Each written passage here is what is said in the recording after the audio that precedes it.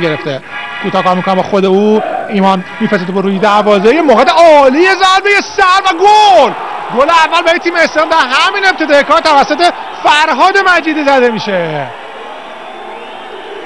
یک بر صفر طرف استقلال شروع رویایی برای تیم آبی ها در همین ابتدای کار فرهاد مجیدی که همین یه هفته قبل مدام در قهراشتی بود که استقلال دروازه نشاطی رو باز می‌کنه.